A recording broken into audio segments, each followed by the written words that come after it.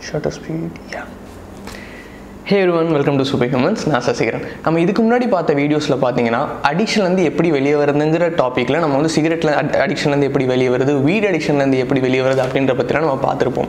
So இன்றைக்கி நம்ம பார்க்க போகிறதும் ஒரு அடிக்ஷன்லேருந்து வெளியே வர மாதிரியான வீடியோ தான். ஃபர்ஸ்ட் ஆஃப் ஆல் நான் அடிக்ஷன்னா என்னென்னு சொல்லிடுறேன். அதாவது ஒரு எக்ஸ்டர்னல் சப்ஸ்டன்ஸ் மேலேயோ இல்லை நமக்குள்ளே இருக்க ஒரு விஷயத்துலையோ நம்ம கண்ட்ரோலை மீறி டிபெண்ட்டாக இருந்தோம்னா அதுதான் அடிக்ஷன் ஸோ இன்றைக்கி நம்ம எதை பற்றி வீடியோ பார்க்க போகிறோம் அப்படின்னா வீடியோ கேம் அடிக்ஷன் அதுலேருந்து எப்படி வெளியே வரலான்றதை பற்றி பார்க்க போகிறோம்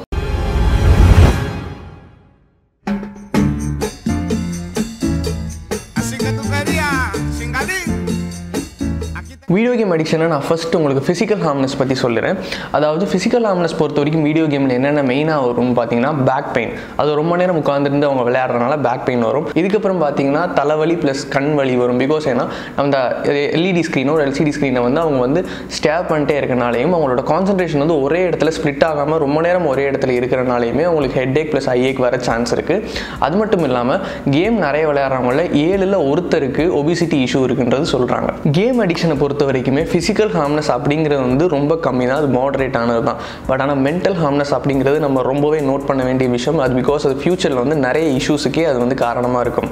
ஸோ மென்டல் ஹார்ம்னஸை பொறுத்த வரைக்கும் பார்த்தீங்க ஃபர்ஸ்ட் என்னென்னு பார்த்தீங்கன்னா இப்போ இருக்க கிட்ஸுமே யங்ஸ்டர்ஸும் கேம் அடிக்ஷனில் இருக்கவங்கள வந்து ஹண்ட்ரட் பர்சன்ட் அப்படின்னு எடுத்தோம். Game addictive people hundred percent எடுத்துக்கிட்டோம்னா அதில் ஒரு ஃபிஃப்டி என்னன்னு பார்த்தீங்கன்னா நான் வந்து கேமில் ரொம்ப இன்ட்ரெஸ்டடாக இருக்கேன். புது புது கேம் வந்து நான் விளையாடணும் ட்ரை பண்ணுறேன் அப்படிங்கிற ஒரு ஒரு குரூப் இருக்கும்.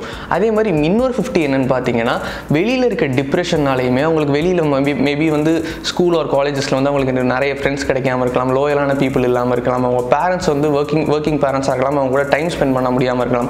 ஸோ அந்த மாதிரி அவங்களுக்கு இருக்கிறப்ப அவங்களுக்குள்ள நிறைய டிப்ரெஷன் இருக்கும். ஆஸ் யூஷுவல் எல்லா ஹியூமன் மாதிரியுமே அவங்களுக்குள்ளும் நிறைய டிப்ரெஷன் இருக்கும் ஆங்ஸைட்டி இருக்கும் கோபம் இருக்கும் வருத்தம் இருக்கும். ஸோ இது எல்லாமே உள்ள தங்க தங்க தங்க அவங்க இந்த ரியல் வேர்ல்டை விட்டு வெளியே போகணும்னு நினைப்பாங்க. ஸோ இந்த விர்ச்சுவல் வேர்ல்டு அதாவது இந்த வீடியோ கேம் அப்படின்ற ஒரு விர்ச்சுவல் வேர்ல்டு வேர்ல்டை வந்து அவங்க வந்து ஒரு ஒரு எஸ்கேப் டூலாக அவங்க யூஸ் பண்ணிப்பாங்க.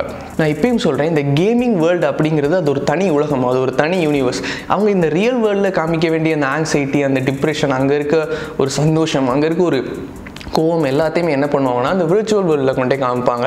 ஸோ வந்து அவங்க வந்து இங்கே அந்த ஒரு எஸ்கேப் டூலாகவே அதை யூஸ் பண்ணிடுவாங்க. ஸோ இந்த ரெண்டு கேட்டகரி எடுத்துக்கிட்டாலுமே கேமுக்குள்ளே அடிக்ஷன் ஆகிட்டாங்கன்னா அவங்க லைஃபுக்கு ரொம்ப இஷ்யூஸ் வரும். அது எந்த மாதிரி இஷ்யூஸ் அப்படின்னு பார்த்தீங்கன்னா அது சொல்கிறப்ப மேபி அது ரொம்ப ஈஸியானது மாதிரி இருக்கும். பட் அவங்க லைஃப்னு போய் பெரு ஐ மீன் கொஞ்சம் இயர்ஸ் கழிச்சு அவங்க லைஃப்பை லீட் பண்ணுற டைமில் அவங்களுக்கு கொஞ்சம் இஷ்யூஸ் வர சான்ஸ் இருக்குது ஸோ என்ன ஃபஸ்ட்டு இதுன்னு பார்த்தீங்கன்னா அவங்களால அவ்வளோ ஈஸியாக சோசியலைஸ்ட் ஆக முடியாது. அதாவது வெளியே இருக்க மக்களோட ரியல் வேர்ல்டில் இருக்க பீப்புளோட அவ்வளோ சீக்கிரம் போய் பழகி அட்டாச் ஆக முடியாது. நான் எப்பயும் சொல்லாத கேம் அடிக்டிவாக இருக்க பீப்புள் வந்து கேம் விளையாடுறவங்க எல்லாருமே கிடையாது. நீங்கள் நிறையவே நோட் பண்ண முடியும். கேமோட மட்டுமே தான் இருப்பாங்க. ஸ்கூல் முடிச்சுட்டு வந்தாலும் சரி காலேஜ் முடிச்சுட்டு வந்தாலும் சரி கேம் விளையாண்டுட்டே தான் இருப்பாங்க. அது மொபைலோ பிசியோ ஏதோ ஒன்று பட் ஆனால் கேமில் தான் அவங்க தாட்ஸ் ஃபுல்லாகவே இருக்கும். ஸோ அந்த மாதிரி பீப்புள் பார்த்தீங்கன்னா மோஸ்ட்டாக ஐசோலேட்டடாக தான் இருப்பாங்க. அதே மாதிரி அவங்க ரொம்ப ரிசர்வ்டாக இருப்பாங்க.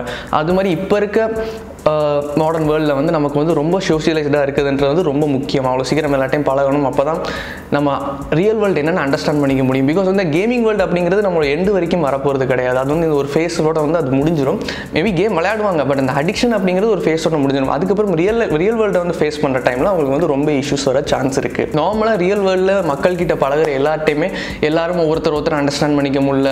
யாராலையுமே யாரையுமே ஹண்ட்ரட் பர்சன்ட் அண்டர்ஸ்டாண்ட் பண்ணிக்க முடியாது பட் இருந்தாலுமே நிறைய பேரோட ஒத்து வர மாட்டேங்குது. நிறைய பேரோட சைக்காலஜிக்கல் இஷ்யூ இருக்குது நிறைய பேரோட ஒரு ஒரு பாண்டிங் கூட வர மாட்டேங்குது. அப்படி இருக்கிறப்ப அந்த யங் யங் ஏஜில் ஃபுல்லாகவே ஐசோலேட்டடாக இருந்துட்டு ரொம்ப ரிசர்வ்டாக ஃபீல் பண்ணிட்டு அதுக்கப்புறம் போய் சோஷியலைஸ்ட் ஆகிற டைமில் அவங்க ரொம்பவே ப்ராப்ளம்ஸை ஃபேஸ் பண்ண வேண்டி வரும். ஸோ அந்த மாதிரி யங்ஸ்டர்ஸுக்கும் கிட்ஸுக்குமே இப்போ இருக்கிற சர்டன் ஃபேஸ் வந்து ரொம்ப நல்லா இருக்கும். பிகாஸ் வந்து நான் ஐசோலேட்டடாக இருக்கேன் நான் தனியாக இருக்கேன் நான் கேமோடே இருந்துப்பேன் அப்படின்னு சொல்ல முடியும். பட் அவங்களுக்குன்னு ஒரு ஃபியூச்சர் ஆஃப்டர் ஒரு ஃபைவ் ஆர் டென் இயர்ஸில் வந்து ஒரு மேரேஜ் ஆனாலோ இல்லை அவங்களுக்குன்னு ஒரு ஃபேமிலி கிட்ஸ்னு வரப்பையோ அப்பயுமே அவங்களால டக்குன்னு அட்டாச் ஆக முடியாது. மேபி அப்பையும் ரிசர்வ்டாக இருந்தால் லைஃப் வந்து நமக்கும் கஷ்டமாக இருக்கும் ப்ளஸ் நம்ம கூட இருக்கிறவங்களுக்கும் கஷ்டமாக இருக்கும். ஓகே கேம் அடிக்ஷன் வந்து அப்போ எப்படி நான் வெளியே வரது அப்படின்னு கேட்டிங்கன்னா இல்லை வந்து இது உங்களுக்குன்ட்டு இல்லை மேபி உங்களை சுற்றி சுற்றி இருக்க பீப்புளுக்குமே மேபி யூஸ்ஃபுல்லாக இருக்கும். நீங்கள் அவங்கள்ட்டையும் சொல்லலாம் அவங்களையும் மேபி சேஞ்ச் பண்ணலாம். மேபி கேம் அடிக்டிவாக இருக்க பீப்புளை சொல்கிறேன் ஸோ அந்த கேம் அடிக்ஷன் வந்து எப்படி வருது அப்படின்னு பார்த்தீங்கன்னா ஃபர்ஸ்ட் பாயிண்ட் என்னென்னு பார்த்தீங்கன்னா take control of yourself நீங்கள் உங்களை கண்ட்ரோல் பண்ணிக்கோங்க. அதாவது இப்போ ஒரு விஷயம் நமக்கு அடிக்ட் ஆகாது. அது எது வேணாலும் இருக்கட்டும். வீடியோ கேம்ஸ் சிகரெட்ஸ் வீடு பான் செக்ஸ் மூவிஸ் ஏதோ ஒன்று நமக்கு வந்து அடிக்டிவாக இருக்குது அப்படின்னா அந்த விஷயம் தான் உங்களை கண்ட்ரோல் பண்ணதுன்னு அர்த்தம். நீங்கள் கண்ட்ரோலாக இல்லை நீங்கள் ஆக்சுவலாக ஸ்டேபிளாக இல்லை. அந்த ஒரு சப்ஸ்டன்ஸ் எக்ஸ்டர்னல் சப்ஸ்டன்ஸோ உங்களுக்குள்ளே இருக்க சப்ஸ்டன்ஸோ வந்து அதுதான் உங்களை கண்ட்ரோல் பண்ணிட்டு இருக்கு ஸோ இதை எப்படி நம்ம தடுக்கலாம் அப்படின்னு பார்த்தீங்கன்னா உங்களை உங்களை வந்து நீங்கள் ரெஸ்பான்சிபிளாக எடுத்துக்கோங்க. உங்களை நீங்கள் கண்ட்ரோலில் கொண்டு வாங்க. சரி ஓகே அதை எப்படி நான் என்ன நான் கண்ட்ரோலில் கொண்டு வருது அப்படின்னு கேட்டிங்கன்னா அதில் ஃபர்ஸ்ட் பாயிண்ட் என்னன்னு பார்த்தீங்கன்னா லவ் யுவர் செல்ஃப் இதை என் ஃப்ரெண்ட்ஸ் டைம் சொல்கிறது என்னை சுற்றி இருக்க பீப்பிளையும் சொல்கிறது முதல்ல நீங்கள் உங்களை லவ் பண்ணுங்கள் அதுக்கு மேலே ஐ மீன் உங்களை ஃபஸ்ட் லவ் பண்ணுங்கள் அதுக்கப்புறம் வெளியே இருக்க எல்லா ஆக்ஷன் சப்ஷனும் நீங்கள் லவ் பண்ணிக்கலாம். அதாவது நீங்கள் கேட்டு பாருங்களேன். உங்களை நீங்களே கேட்டு பாருங்களேன். மிஸ் கண்ணை மூடிட்டு கேட்டு பாருங்களேன். உண்மையிலே நான் என்ன லவ் பண்ணுறேன் டூ லவ்விங் மை செல்ஃப் அந்த மாதிரி கேட்டு பாருங்களேன். இதில் நிறைய பேர்ட்ட வந்து இல்லைன்னு கூட ஆன்சர் வரும். பிகாஸ் நிறைய பேர் இங்கே முக்கியமாக யங்ஸ்டர்ஸ் வந்து என்னடா வாழ்க்கை அப்படின்னு தான் நிறைய பேர் வந்துட்டு இருக்கோம். பட் அப்படி இருக்கக்கூடாது. முதல்ல உங்களை நீங்கள் லவ் பண்ணணும். உங்களை நீங்கள் ரொம்ப நேசிக்கணும். வெளியே இருக்க எல்லாத்த விடவும் நீங்கள் எதெல்லாம் நீங்கள் ஒருத்தர் பெருசாக நினைக்கிறோம் அதை விட ஃபஸ்ட்டு உங்களை நீங்கள் பெருசாக நினைக்கணும் உங்களை நீங்கள் லவ் பண்ணணும். Again again இதே திருப்பி திருப்பி நான் சொல்கிறேன் அப்படின்னா அது உங்களுக்கு உள்ளே டீப்பாக போகணும் அப்படின்றதுக்காக தான் சொல்கிறேன் ஃபர்ஸ்ட் லவ் யுவர் செல்ஃப் நீங்கள் உங்களை ரொம்ப நேசிக்க ஆரம்பிச்சிட்டாலே உங்கள் மேலே ஒரு செப்பரேட் கேர் வந்துடும் ஓகே என்ன நான் எப்படி இம்ப்ரூவ் பண்ணுறது என்ன நான் எப்படி அப்கிரேட் பண்ணுறது என்ன நான் எப்படி இந்த வேர்ல்டுக்கு வந்து நான் ஒரு பெஸ்ட்டாக என்ன நான் நீங்கள் யாரோடும் பெஸ்ட்டாக வேணாம். ஜஸ்ட் உங்களுக்கு நேற்றிருந்த உங்களுக்கு நீங்கள் இன்றைக்கி பெஸ்ட்டாக எப்படி கொண்டு வரது அப்படிங்கிறத மட்டுமே யோசிக்க முடியும். ஸோ நீங்கள் உங்களை கேர் பண்ணிக்கிறனால வெளியே இருக்க எந்த ஒரு எக்ஸ்டர்னல் திங்ஸுமே உங்களை வந்து கண்ட்ரோல் பண்ணுறதுக்கு நீங்களே அலோவ் பண்ண மாட்டீங்க. செகண்ட் பாயிண்ட் என்னென்னு பார்த்தீங்கன்னா ஒய் அனாலிசஸ் இந்த ஒய் அனாலிசஸ் அப்படிங்கிறது ஏன் அது ஏங்கிற ஒரு கேள்வி தான் அதை வந்து நீங்கள் ரியல் லைஃப்பில் கூட அப்ளை பண்ணி பார்க்கலாம். பட் ரியல் லைஃப்பில் அப்ளை பண்ணால் அது வந்து கடைசி ஜீரோவில் தான் வந்து நிற்கும் ஸோ வந்து நம்ம அதுக்கு தேவையில்ல. அதாவது ஒரு விஷயம் வந்து நம்ம பண்ணலாமா வேணாமா அப்படிங்கிற ஒரு ஆசிலேஷனில் இருக்கிற டைமில் நீங்கள் இந்த ஒய் அனாலிசஸ் எல்லாம் அப்ளை பண்ணி பார்க்கலாம். இது ரியல் லைஃபுக்கும் கூட செட் ஆகும். ஓகே இந்த ஒயர்லெஸ் அப்படின்னா இப்போ நீங்கள் கேம் அதிகமாக விளையாடுறீங்கன்னா ஏன்னு கேளுங்க? நான் ஏன் விளையாடுறேன் அப்படின்னு. ஓகே என்ன இப்போ நான் டிஸ்ட்ராக்ட் பண்ணிக்க விளையாடுறேன் அப்படின்னு ஒரு ஆன்சர் உங்களுக்குள்ளே வரும். ஓகே இதை நான் ஃபியூச்சரில் லாங் டர்மாக கொண்டு போகிறனால எனக்கு என்ன யூஸ் இருக்குது இதை நான் ஃபியூச்சரில் கொண்டு போனால் என்னென்னா இம்ப்ரூவ் பண்ணிக்க முடியுமா? என்னென்னா அடுத்த லெவலுக்கு கொண்டு போக முடியுமா? இது வந்து என்னுடைய லைஃப்பில் நான் முன்னேறதுக்கான ஒரு ஹோப்பாக இருக்குமா அப்படின்னு கேட்டிங்கனாலே உங்களுக்கு லைஃப்பில் இதுக்கு மட்டும் இல்லை நிறைய விஷயத்துக்கு ஆன்சர்ஸ் கிடச்சிரும். லைஃப்பை இம்ப்ரூவ் பண்ணணும் அப்படின்னு சொன்னேன் உடனே பத்து நம்மளோட பத்து வருஷ வாழ்க்கை இருபது வருஷ வாழ்க்கைக்கு பின்னாலலாம் போய் ரொம்ப யோசிக்க வேணாம். அதே மாதிரி லைஃப்பை நான் இது இது என் ஃப்ரெண்ட்ஸோட ஃப்ரெண்ட்ஸ்டே என்னை சுற்றி இருக்க பீப்புள்கிட்டே நான் அடிக்கடி சொல்கிற விஷயம் தான் நம்ம லைஃப்பை இம்ப்ரூவ் பண்ணுறோம் அப்படின்னு சொல்லிட்டு ஒன்றும் பெரிய பிளான்லாம் வச்சுக்க வேணாம். ஒன்றும் பெரிய எக்ஸ்பெக்டேஷன்ஸ்லாம் வச்சுக்க வேணாம். ஜஸ்ட் ஒரு வாஸ்டான ஐடியா ப்ளஸ் ஒரு ப்ராடான ஒரு ஐடியா இருந்தால் மட்டுமே போதும். அதில் உங்களுக்கு சொல்யூஷன் கிடைக்கணும் அப்படின்னா இந்த ஒய் அனாலிசிஸ் அப்படி நீங்கள் ட்ரை பண்ணிங்கன்னா உங்களுக்கு ஈஸியாகவே அதுலேருந்து சொல்யூஷன்ஸ் கிடைச்சிடும் இது இதுக்குன்னு மட்டுமே சொல்ல லைஃப்பில் உங்களுக்கு எந்த ஒரு டவுட்ஸ் வந்தாலும் சரி எந்த ஒரு இஷ்யூஸ் வந்தாலும் சரி இந்த ஒய் அனாலிசிஸ் நீங்கள் ட்ரை பண்ணி அதாவது ஏங்கிற ஒரு கேள்வி தான் அதை நீங்கள் கேட்டாலே உங்களுக்கு லைஃப்பில் வந்து எல்லாத்துக்குமே ஒரு கிளாரிட்டி கிடைக்கும் ஈஸியாகவே இப்போ நெக்ஸ்ட் பாயிண்ட் என்னென்னு பார்த்தீங்கன்னா நான் ஆல்ரெடி சொன்ன மாதிரி தான் இந்த கேமுக்குள்ளே அடிக்ஷனாக போகிறது அப்படிங்கிறது வந்து இதில் நிறைய பேர் என்னென்னு பார்த்தீங்கன்னா அந்த ரியல் வேர்ல்ட்லேருந்து எஸ்கேப் ஆகணும் அப்படிங்கிறனால தான்.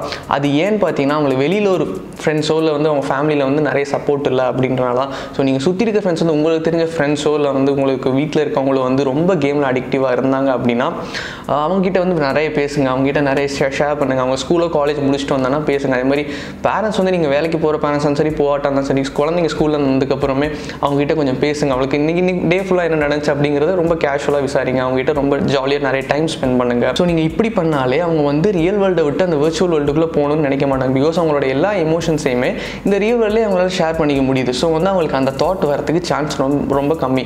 அவங்க ஈவன் கேம் விளையாண்டா கூடவே அவங்க ரொம்ப அடிக்டிவாக அதுக்குள்ளே இறங்க மாட்டாங்க.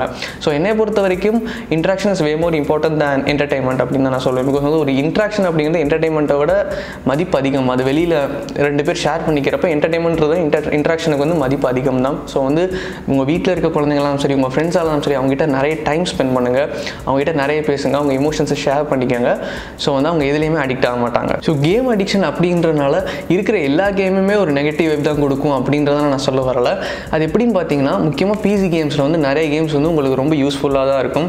அது வந்து உங்களை நிறைய திங்க் பண்ண வைக்கும். அது உங்களை ரொம்ப ஆழமாக யோசிக்க வைக்கும். அது உங்களோட பிரெயினை வந்து ரொம்ப ஆக்டிவ் ஆக்டிவாக வச்சுக்கும்.